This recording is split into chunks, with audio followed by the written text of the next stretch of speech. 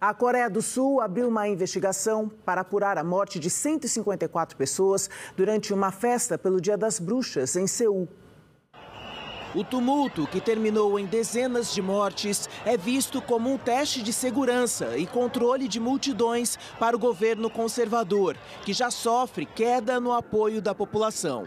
Todas as vítimas foram identificadas, com exceção de uma, Autoridades locais informaram que, durante o evento, mais de 130 mil pessoas utilizaram a estação de metrô da região, em comparação com quase 97 mil no mesmo evento em 2019. E a situação saiu do controle.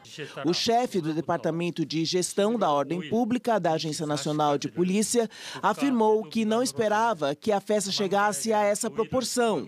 Tudo aconteceu quando a multidão ficou exprimida num beco de 3 3 metros de largura. Muitas pessoas começaram a cair e foram pisoteadas.